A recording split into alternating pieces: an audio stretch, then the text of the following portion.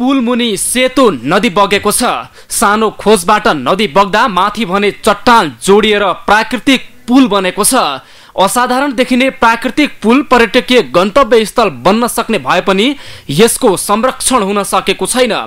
वर्षौँ अघि सेतीको पानीले कडा चट्टानलाई फोरेर बगेको छ।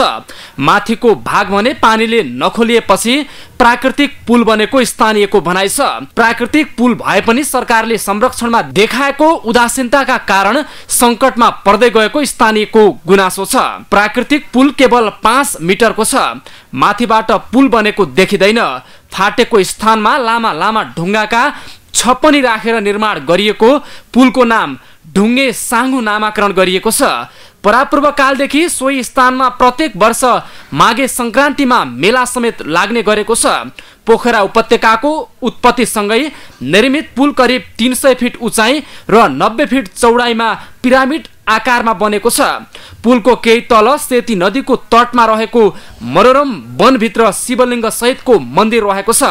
यस्तो सौन्दर्य दृश्य विश्वमा दुर्लभ भएका कारण यसको संरक्षण गर्नुपर्ने मन्दिरका पुजारी पनि बताउँछन्। यो प्राकृतिक रूपमा रहेको ढुङ्गे साङ्गो पुल एउटा पोखराको मात्र नभएका नेपालको नै गहनाको रूपमा नेपाल चलाउन सक्ने क्षमतामा रहेको पुल हो। यो ढुङ्गे साङ्गो पुल ओझेलमा परेको छ।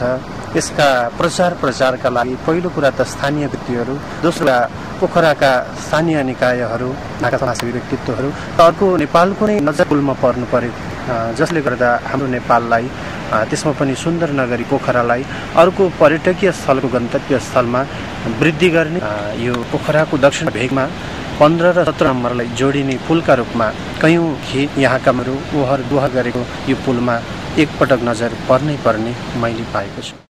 पुलमुनि शिव मन्दिर छ। मन्दिरमा वर्षेनी शिवरात्रिको अवसरमा पूजाआजा हुने स्थानीयले बताएका छन्। सेती नदीको दायाँ बायाँबाट छुटिएका ठुल्ठुला जमिनको भाग एक आपसमा जोडिएको र नदीको पानीले तल्लो भाग काटेर निकास बनाएपछि माथिल्लो भागले पुलको आकार लिएको भूगर्भविदहरूको धारणा रहेको छ।